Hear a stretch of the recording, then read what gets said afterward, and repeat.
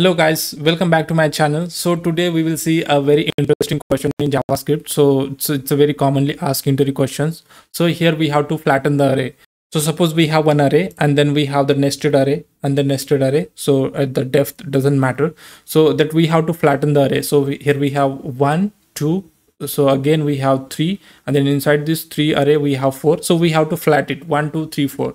So let's see how we can do in uh, JavaScript. Very first I have to iterate this array and then I'll write one for loop. So now we have to check whether this element is array. If it is array, then we have to call these flat functions recursively again. And then uh, uh, if not, then we, we can push those number into the some result. So let's see uh, if array dot is array. So this is how we check whether this element is uh, array or not. So we can have array of i.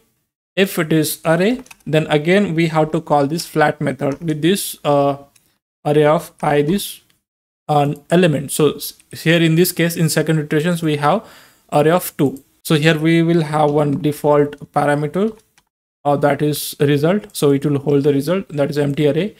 Uh, and then we'll pass here from result. If it is array, then call this flat recursively. If it is not, then push those element into the result. Now we have to return a result. Let's run the code.